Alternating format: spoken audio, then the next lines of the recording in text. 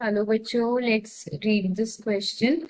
The variation of the boiling points of the hydrogen halides is in the order. इस question में आपको बताना है कि जो वेरिएशन है बॉइलिंग पॉइंट्स का हाइड्रोजन हलाइड्स के तो वो इस ऑर्डर में है एच एफ़ देन एच उससे कम फिर एच आई का फिर उससे कम एच बी आर का followed by H C L तो ये बॉइलिंग पॉइंट का क्यों ट्रेंड है क्यों ऑर्डर है ये बॉइलिंग पॉइंट का जिसमें सबसे ज़्यादा एच एफ़ का क्यों है, हमें इस क्वेश्चन में वो बताना है। चलिए हम सबसे पहले इस क्वेश्चन का कॉन्सेप्ट समझ लेते हैं।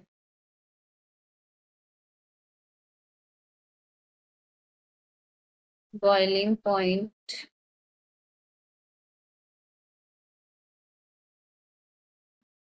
of hydrogen halides तो हाइड्रोजन हेलाइड्स का जो बॉइलिंग पॉइंट है, उसको समझते हैं। ठीक है तो चार है हमारे पास यहाँ H F H C L H B R H I सबसे ज़्यादा मैक्सिमम आपका होता है एच एफ़ का followed by H I then H B R से कम एच सी एल का होता है। तो ऐसा ऑर्डर का ये ट्रेंड क्यों है? तो हम सबसे पहले इसका रीजन समझते हैं। तो बॉइलिंग पॉइंट बच्चे डिपेंड करता है इंटरमोलिकुलर अट्रैक्शन पर जितने ज़्यादा इंटरेक्शन होंगे इंटरमोलिकुलर अट्रैक्शन उतने ही ज़्यादा बॉइलिंग पॉइंट होगा। बॉइलिंग पॉइंट वो टेम्परेचर जिसपे कोई सब्सटेंस बॉइल करना स्टार्ट करता है। तो सबसे पहले हम बात कर लें अगर कि जो हाइड्रोजन हेलाइड्स है, उसमें हमारे पास fluorine chlorine bromine and iodine ये चार हाइड्रोजन हैं। तो बॉइलिंग पॉइंट की बात करें अगर तो यहाँ पर हाइड्रोजन बॉन्डिंग पे डिपेंड करेगा क्योंकि इसमें हाइड्रोजन साथ में है। इस पर डिपेंड करेगा upon the hydrogen bonding extent कितना है हाइड्रोजन बॉन्डिंग का? फ्लोरीन के साथ क्लोरीन के साथ ब्रोमीन के साथ आयोडीन के साथ. तो अब अगर हम देखें तो इसमें H I H P R H C L तो इन मॉलिक्यूल्स में जो डोमिनेटिंग इंटरेक्शंस है, वो क्या है? वॉन्डरवॉल फोर्स ऑफ़ अट्रैक्शंस ठीक है? वॉन्डरवॉल फोर्सेस हैं इनमें.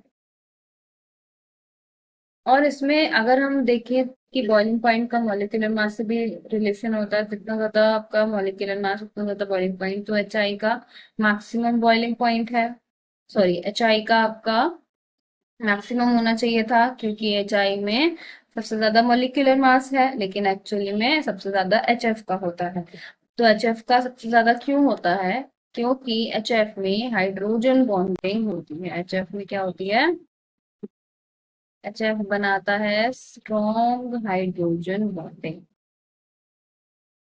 हमें पता है कि ऑक्सीजन फ्लोरीन एंड ये हाइड्रोजन इनमें आपस में हाइड्रोजन बॉन्डिंग ये बनाते हैं एंड एक नाइट्रोजन भी बनाता है। इसी वजह से इसमें इतना स्ट्रॉन्ग हाइड्रोजन बॉन्डिंग ये जो बन रही है, इस वजह से इसका बॉइलिंग पॉइंट क्या है, सबसे ज़्यादा है। एंड एच एफ़ आपका इसीलिए लिक्विड स्टेट में एग्जिस्ट करता है, जबकि H B R H I L C green भी गैसीय स्टेट में एग्जिस्ट करता है। तो इसीलिए क्या कंक्लूजन निकला कि आपका सबसे ज़्यादा जो बॉइलिंग पॉइंट है, वो होगा एच एफ़ का followed by H I then H B R then H C L अब हम इसमें ऑप्शन देखते हैं कि सही ऑप्शन कौन सा हो सकता है।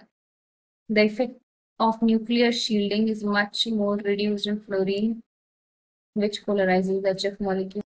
देखो, यहाँ पे जो न्यूक्लियर शील्डिंग है, वो ऐसा नहीं है कि वो रिड्यूस होती है, ठीक है? तो ये भी आपकी सही स्टेटमेंट नहीं है। फिर इलेक्ट्रोनेगेटिविटी फ्लोरीन की ज़्यादा हाई है देन अदर एलिमेंट्स तो ये बात वैसे तो सही है ये स्टेटमेंट कि फ्लोरीन की इलेक्ट्रोनेगेटिविटी ज़्यादा है, लेकिन ये बॉइलिंग पॉइंट से इसका कोई रिलेशन नहीं है। फिर स्ट्रॉन्ग हाइड्रोजन बॉन्डिंग ये है हमारा करेक्ट रीजन कि ये जो हाइड्रोजन बॉन्डिंग है, ये एक्चुअली बॉइलिंग पॉइंट को बढ़ा देती है, ना कि जस्ट एक इलेक्ट्रोनेगेटिविटी इलेक्ट्रोनेगेटिविटी से बॉइलिंग पॉइंट का कुछ रिलेशन नहीं है। फिर जो bond energy H F molecules की वो ज़्यादा है तो ये भी इसका सही आंसर नहीं है। बॉन्ड एनर्जी की भी बात यहाँ नहीं हो सकती। बॉइलिंग पॉइंट में मेनली हाइड्रोजन बॉन्डिंग की बात होगी तो इसलिए इसका सही ऑप्शन सी हो जाएगा। इसी ऑप्शन में final answer I hope you all have understood the question wish you all the best